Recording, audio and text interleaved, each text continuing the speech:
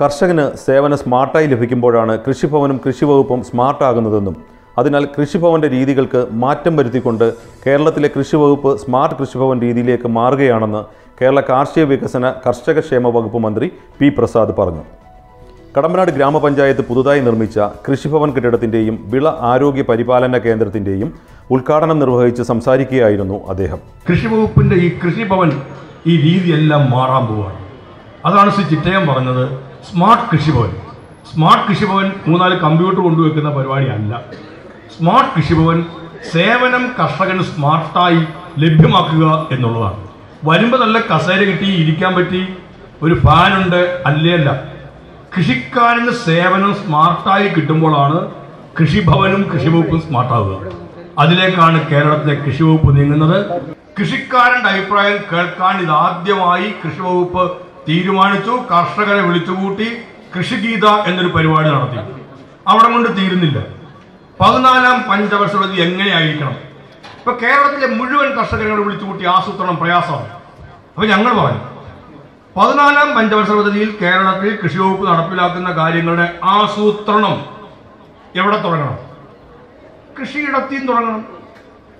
നെൽകൃഷിയുടെ കാര്യം കടമ്പനാട്ട് ചെയ്യുന്നത് പോലല്ല കുട്ടനാട്ട് ചെയ്യുന്നത്. കുട്ടനാട്ടിന്റെയും കടമ്പനാടിന്റെയും വ്യത്യാസം ഉണ്ടാവും പാലക്കാട് ചെല്ലുമ്പോൾ തൃശൂർ കോൾപ്പാടങ്ങളാണ് അവിടെ വേറൊരു രീതിയാണ്.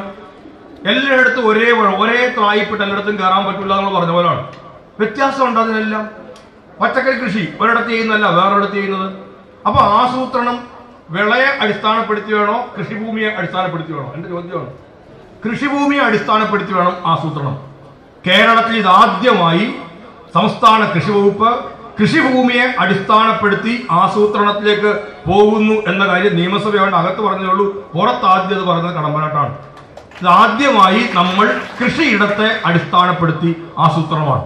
വിളയെ അടിസ്ഥാനപ്പെടുത്തിയായിരുന്നു ഇതുവരെ കൃഷി. നെല്ലിന്റെ ഒരു രീതി പച്ചക്കറിക്ക് ഒരു രീതി ഇങ്ങനെയായിരുന്നു. ആ രീതി മാറുക വിളയെ അടിസ്ഥാനപ്പെടുത്തിയുള്ള ആസൂത്രണം മാറുന്നു. കൃഷിയിടത്തെ അടിസ്ഥാനപ്പെടുത്തിയുള്ള ആസൂത്രണത്തിലേക്ക് പോകുന്നു. ഇന്ന് രാവിലെ കടമനാട് ഗ്രാമപഞ്ചായത്ത് അങ്കണത്തിൽ ഉദ്ഘാടന പരിപാടികൾ നടന്നത്. കടമനാട് ഗ്രാമപഞ്ചായത്ത് രണ്ടായിരത്തി ഇരുപത് ഇരുപത്തിയൊന്ന് സാമ്പത്തിക വർഷം ജനകീയ ആസൂത്രണ പദ്ധതിയിൽ ഉൾപ്പെടുത്തി കടമനാട് ഗ്രാമപഞ്ചായത്ത് കോമ്പൗണ്ടിലാണ് കൃഷിഭവന്റെയും വിള ആരോഗ്യ പരിപാലന കേന്ദ്രത്തിന്റെയും കെട്ടിടം നൂതന രീതിയിലാണ് പണി കഴിപ്പിച്ചിട്ടുള്ളത്. ചടങ്ങിൽ deputy speaker Chittayam Gopakumar M L A അധ്യക്ഷത വഹിച്ചു. കേരളത്തിലെ കാർഷിക സമ്പത്ത് വിപുലപ്പെടുത്താൻ കഴിയുന്ന തരത്തിലേക്കുള്ള തീരുമാനങ്ങളുമായിട്ടാണ് ഗവൺമെന്റ് മുന്നോട്ട് പോയിക്കൊണ്ടിരിക്കുന്നത്. കർഷകരെ എങ്ങനെ സഹായിക്കാം? അതിനെന്തെല്ലാം മാർഗങ്ങളുണ്ട്? അങ്ങനെ കർഷകരെ സഹായിക്കുന്നതിനും കർഷകർക്ക് കൃഷിവകുപ്പ് ഉദ്യോഗസ്ഥന്മാരുടെ സേവനം ലഭ്യമാകുന്നതിനും അവർക്ക് ആവശ്യമായിട്ടുള്ള വിത്തും വളവും അടക്കം ഏതെങ്കിലും ഒരു കേന്ദ്രത്തിൽ ലഭ്യമാക്കാൻ കഴിയത്തക്ക നിലയിലുള്ള സംവിധാനം ഉണ്ടാകണമെന്ന ചിന്തയിലാണ്. സഖാവ് വി വി രാഘവൻ കൃഷി വകുപ്പ് മന്ത്രിയായിരുന്നപ്പോൾ കേരളത്തിലെമ്പാടും കൃഷിഭവനുകൾ ആരംഭിച്ചത്. പത്തനംതിട്ട പ്രിൻസിപ്പൽ കൃഷി officer Sheela A D.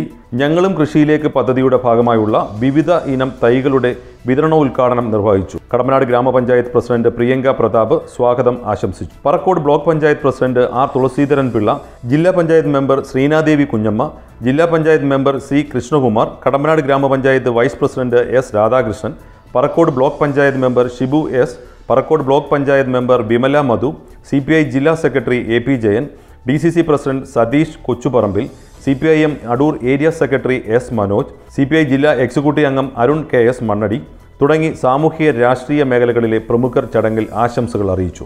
Bharatiya Janata പാർട്ടിയുടെ ഒരു പ്രതിനിധികളെ പോലും പഞ്ചായത്ത് കൃഷി ഓഫീസ് ഉദ്ഘാടനത്തിന് ക്ഷണിക്കാത്ത കടമനാട് പഞ്ചായത്ത് ഭരണ പ്രതിപക്ഷ നടപടിക്ക് എതിരെ B J P Kadamanad area committee പ്രതിഷേധം രേഖപ്പെടുത്തിക്കൊണ്ട് ഉദ്ഘാടന പരിപാടിയിൽ നിന്ന് വിട്ടുനിന്നു. M C T V news Adoor.